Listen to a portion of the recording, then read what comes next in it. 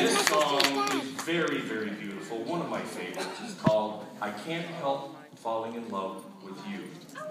Ladies and gentlemen, please welcome Jacqueline, Jackie Gauvreau.